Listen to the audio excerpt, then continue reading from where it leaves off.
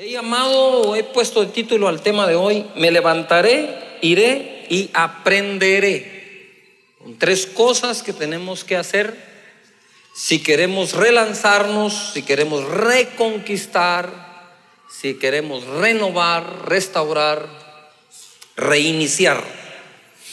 En el aprendizaje que uno tiene, a mí me gustan mucho los deportes, ustedes lo saben, me gusta estudiar de, los deportes, de psicología de los deportistas profesionales, porque yo creo que hay dos cosas que prueban bastante el carácter y una tercera que la supera las dos. La primera es el tránsito, ¿verdad? Prueba el carácter. Se quiere meter uno, se quiere por matar, le bocinan a uno, lo maltratan, uno se aguanta, la, toda.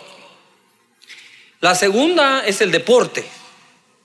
Pero eh, estudiando un poco de, de los deportes, y en general el aprendizaje del ser humano, nosotros tenemos cuatro etapas del aprendizaje. Nos podemos quedar en una estacionados o emigrar hasta la mejor de ellas, como también, además de ser parte de un aprendizaje, forma parte de una persona como tal en un estado de vida.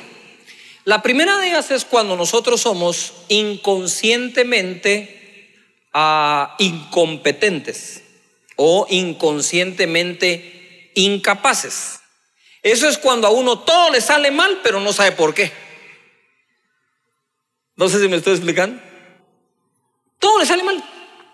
Si lo que hago me sale mal, pero no sé por qué, entonces no sabe cómo componerlo. La segunda es cuando la gente se convierte en conscientemente incompetente o incapaz. Es decir, ya sabe por qué le sale mal. Entonces ya puede componer algo. La tercera es la persona que es conscientemente competente. Esa es la persona que sabe por qué las cosas le salen bien. Cuando algo falla sabe cómo corregirlo. Normalmente la persona que es conscientemente competente es la persona que también puede enseñar o puede ser instructor o puede ser entrenador porque sabe el cómo. Y por último está el inconscientemente competente. Ese es aquel que tiene dos formas de verse. Es aquel que ya tiene todo metido en él, que le sale natural. Esos son los grandes profesionales que dicen, pero qué fácil. Ese, ese deporte es re fácil. Usted agarra ese chunche y no le sale nada. Porque se ve tan natural, no sé si me estoy... Pero también hay otro inconscientemente competente, que es el que no sabe por qué le sale bien no sabe cómo decirle al otro cómo hacerlo. Por ejemplo, usted le puede pedir a un Michael Phelps que le enseñe a nadar. Espero que le haga caso. Después de tantas medallas olímpicas, yo estoy seguro que a alguien le va a debatir que así no sé nada. Aunque se esté ahogando, ¿verdad? Siempre existe ese alumno, ¿no? Que sabe más que el maestro aunque no le salga nada. Pero usted le puede pedir a Michael Phelps que le enseñe a nadar porque él sabe cómo aprendió a nadar. Pero usted no le puede pedir a Nemo que le enseñe a nadar. Porque Nemo sabe nadar hasta con la aleta media chueca, ¿verdad? Pero no sabe cómo, porque él es un pez. ¿Me estoy explicando? Hay cosas que cuesta transmitir, no es tan fácil transmitirlas. Entonces, ese es un proceso en, en que pasamos, los que hacemos deporte, aprendiendo hasta que puede llegar a ser inconscientemente competente, que ya practicó tanto que ya le sale de forma ¿qué? Natural. Cuando le deja de salir, los instructores o entrenadores agarran a ese deportista y le hacen un back to basic, lo vuelven otra vez a lo básico y elemental. Así es la vida también, y la vida cristiana igual. A veces se nos descompone lo que naturalmente hacíamos y tenemos que volver a lo básico para volver a retomar todo en nuestra vida y en nuestro camino. Basado en eso, quiero contarles desde otra perspectiva la parábola del hijo pródigo. ¿Se recuerdan que la parábola del hijo pródigo, él tomó los bienes que le dio su padre, los malgastó, el hermano todavía da testimonio que fue con rameras, y él dice, he pecado contra el cielo, contra ti, Padre, perdóname, y entonces él nace de nuevo, que es la parábola del hijo pródigo. Esta parábola se ha contado de todas formas menos como es. Es una parábola de problemas económicos. Es una parábola donde por el malgasto de los bienes quedó en quiebra la persona y regresa a la casa de su padre porque no tenía que comer. Por lo tanto, yo no veo nada de malo cuando una persona dice, yo me tengo que acercar a Dios porque estoy quebrado económicamente, porque igual el hijo pródigo por eso regresó. Pero cuando las personas quieren condicionar la búsqueda de Dios, estamos fallando en eso. Tú no le puedes decir a alguien, tú no deberías de buscar a Dios por eso. Deja que Dios le conteste. ¿Quién soy yo para decirle a alguien, así no deberías de buscar a Dios? Si no me está buscando a mí, está buscando a Dios. Que se lo diga a Dios. Pero este hombre que tenía hambre dijo, en la casa de mi padre hay abundancia de pan, yo regreso allá. El padre hasta una fiesta le hizo por regresar. Nosotros, uh, una entrevista le haríamos. Esa es la diferencia entre el mundo religioso y el mundo más natural para con Dios. Deberíamos ser personas las más naturales posibles, hablar de forma natural, comportarnos de forma natural, vestir de forma natural y relacionarnos con Dios de una forma natural, aunque Él sea sobrenatural. ¿Cuántos creen eso? Muy bien. Entonces les quiero contar esta parábola del hijo pródigo, pero desde otro punto de vista que creo que nos va a servir ahora que estamos en la reconquista. En Lucas capítulo 15, verso 11 en adelante dice, también dijo, un hombre tenía dos hijos. El menor de ellos dijo a su padre, Padre, dame la parte de los bienes que me corresponde, y les repartió los bienes.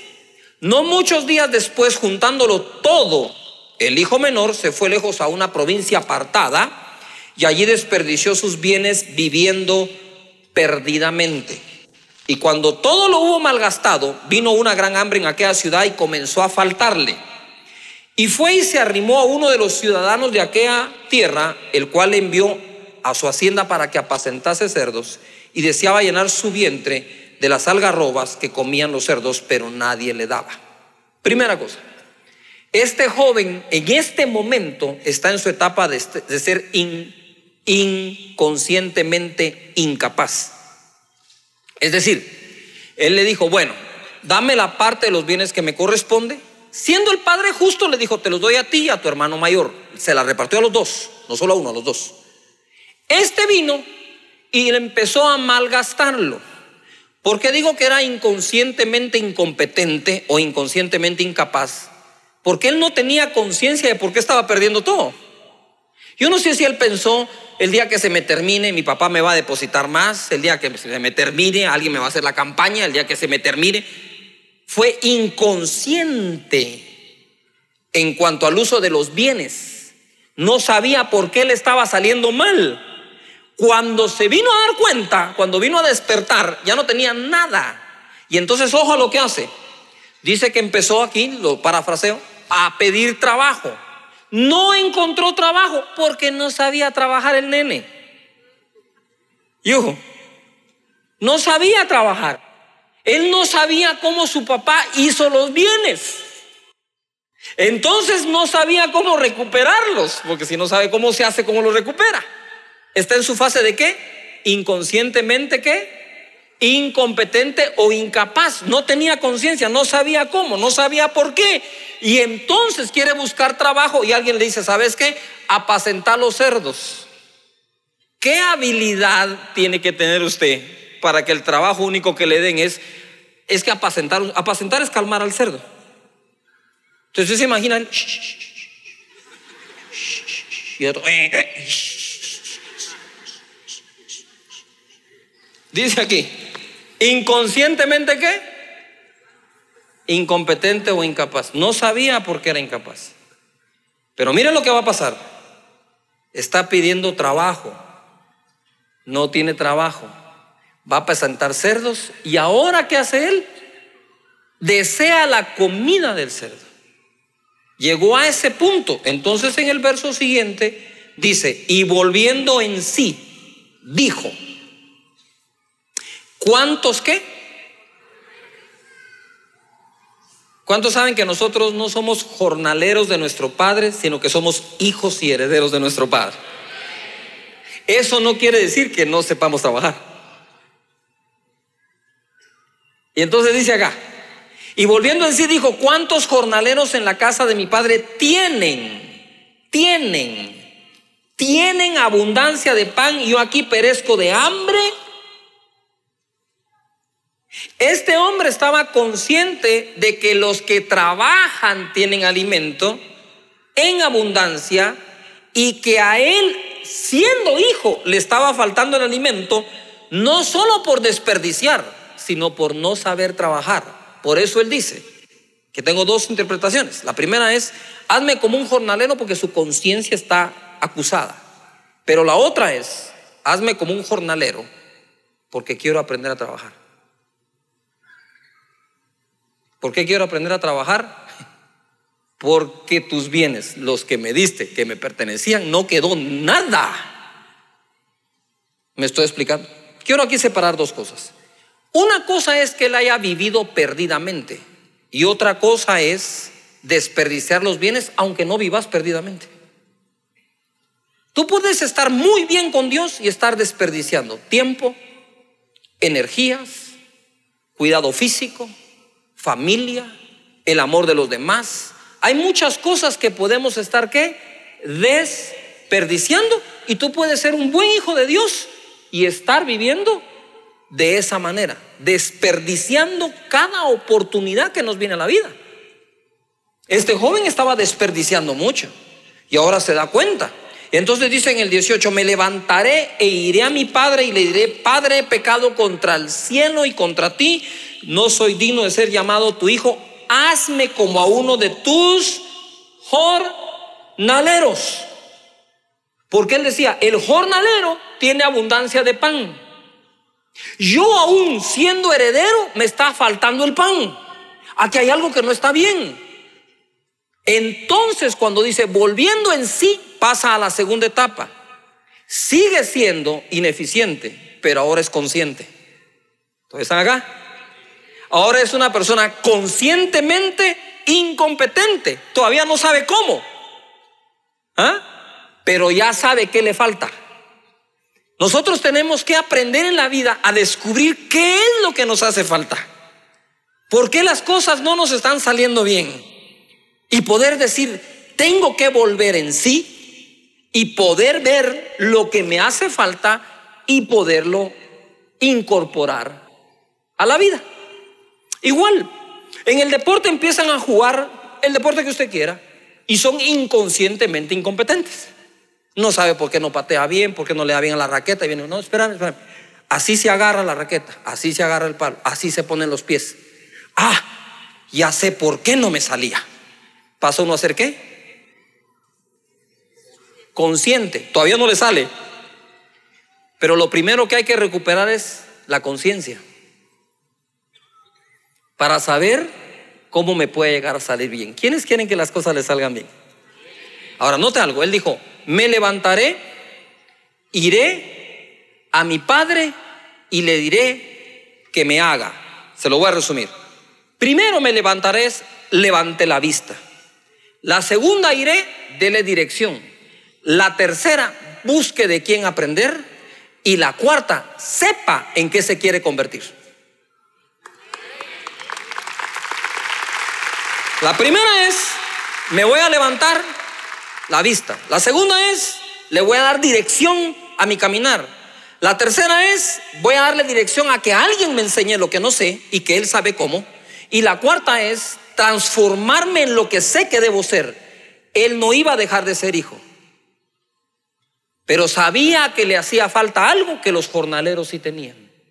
Esfuerzo, trabajo, aprendizaje. Quiero hablarle la primera de levantarnos. Tenemos que aprender a levantar la vista.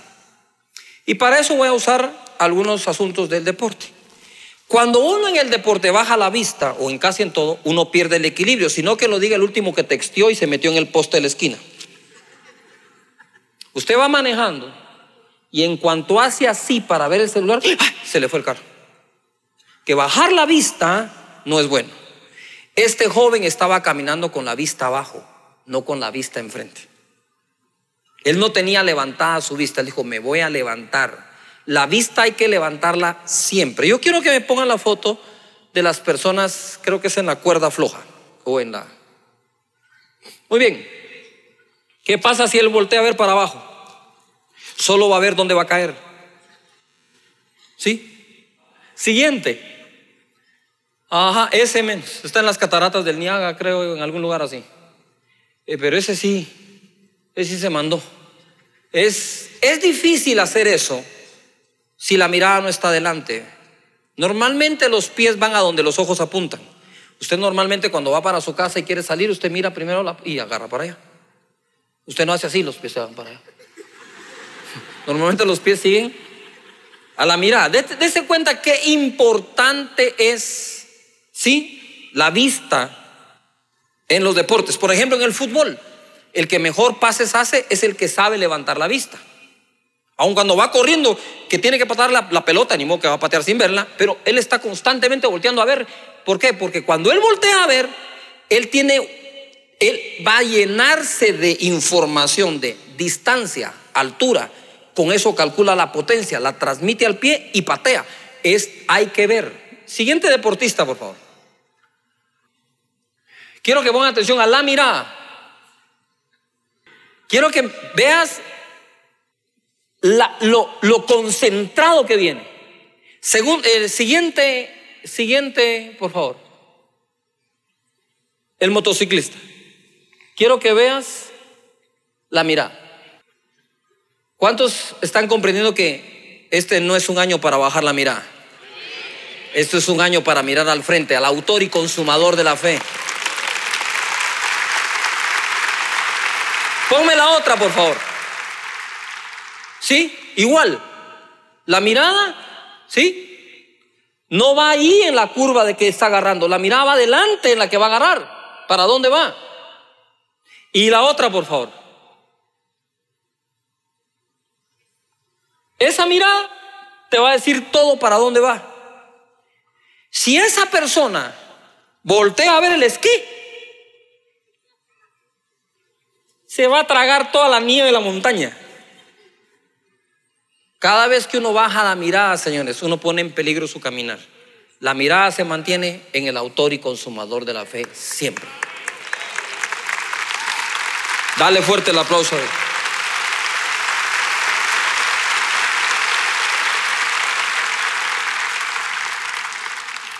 Levanta las manos y di conmigo, este año mi mirada va al frente, no atrás. Amén. Cuando dice él, iré, está hablando de caminar. Vean ustedes el cuerpo humano. El cuerpo humano fue diseñado para ir para adelante. ¿Para dónde va todo? Para adelante. Dios quiere que vayamos hacia adelante. Para atrás ni para agarrar aviada ni impulso. Todo para adelante. Levanta tus manos y me levantaré. Este año voy para adelante. Amén. Siempre para adelante. Es un peligro, peligro dejar de caminar. No sé si ustedes vieron la serie Band of Brothers, pero en esa serie de guerra, que es al final una serie de liderazgo, hay un cambio de liderazgo en algún momento. No recuerdo muy bien ese detalle, pero sí recuerdo lo que pasó después. Están avanzando y uno de ellos se, se, se inmoviliza por el temor y se queda parado. Y el líder de él le empieza a gritar, corre, camina, movete, porque si te quedas quieto, eres blanco seguro. Siempre va a ser más difícil pegarle algo en movimiento que pegarle algo que está parado. Así que este año, todo el mundo en movimiento, amén. ¿Qué tenía Abraham cuando empezó? ¿Qué le quedó a Jacob? Una piedra. Y de ahí fue Dios capaz de levantarlos. Yo no sé por qué dudas que Dios te va a levantar si Dios puede levantar a todos. Si tan solo alineas tu fe a Él y le crees a Dios por eso. Si algo necesita Guatemala es aplicar su fe en lo económico en este momento. ¿O cómo se va a levantar este país? ¿O cómo vamos a crear más empleos? si no es creyéndole a Dios que sí se puede. Guatemala necesita tu fe. ¿Puede ir un buen amén a eso?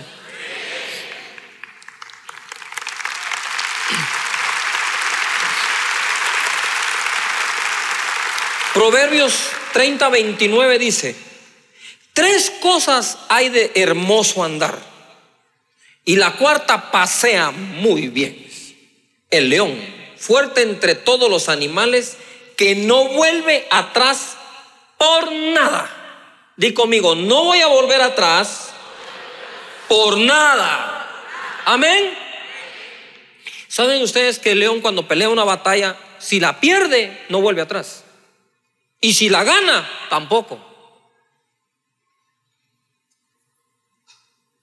Pelea, peleada, batalla peleada, batalla olvidada. Adelante te está esperando la otra. Si perdés mucho tiempo en pensar, en pensar en lo que pasó, dejas de usar tu tiempo para prepararte para lo que va a pasar. De eso hay que salir rápido, hay que dejarlo atrás. Y dice después acá, el ceñido de lomos, asimismo el macho cabrío y el rey a quien nadie resista. ¿Quiénes son reyes y sacerdotes? Levanta las manos y di conmigo, yo voy a caminar y nadie me va a resistir. Levantaré mi vista, voy para adelante. Amén.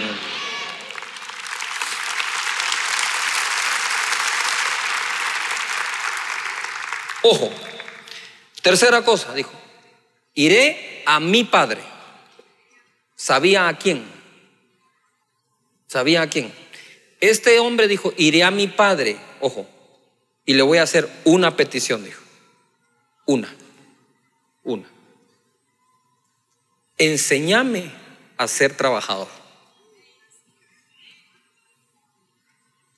Porque lo que perdí no solo fue por mal gasto, no solo malgastaba, sino no producía.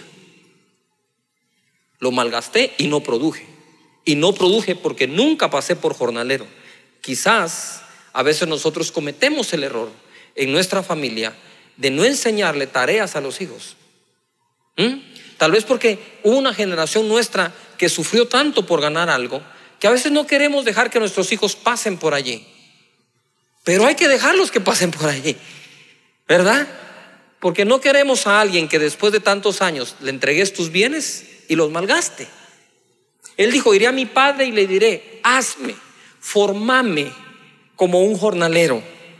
Él no quería ser un jornalero como tal. Obviamente tenía hambre y dijo, yo prefiero comerlo de un jornalero que, que, que, comer lo que comían los cerdos. Es obvio, pero ahí había algo más escondido. Por eso le dije, permítanme darle otro punto de vista a esta parábola. ¿Mm? Hijos, este hijo lo que estaba tratando de decir es, dos veces a mí no me pasa.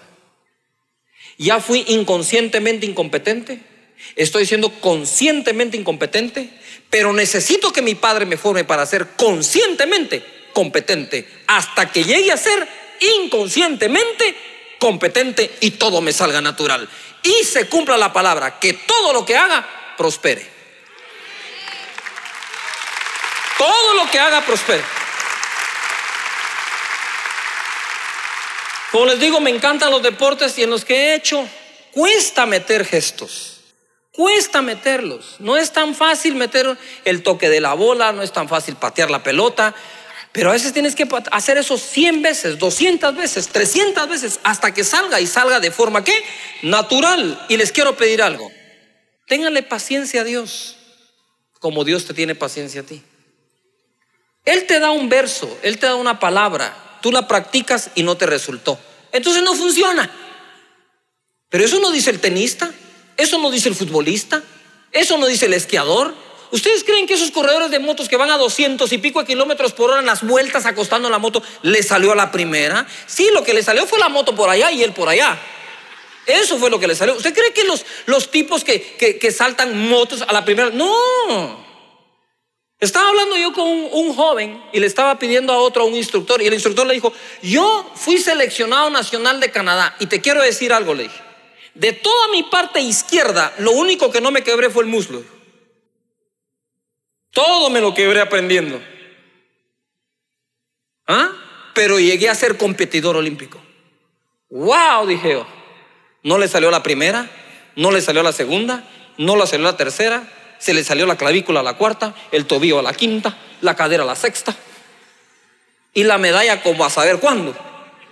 ¿Por qué nosotros cuando un verso no nos sale, lo abandonamos en vez de seguirlo aplicando y aplicando y aplicando hasta que salga? Ya cuando te sale te vuelves en un consciente competente, pero si sigues practicándolo, te vas a volver en un inconsciente competente en donde la vida abundante en Cristo Jesús te sale de forma natural. Al principio emprendes y no prosperas, pero la promesa es que vas a prosperar, vuelves a emprender, vuelves a emprender hasta que llega un día que lo que hagas es bendecido por Dios. Dale fuerte ese aplauso al Señor.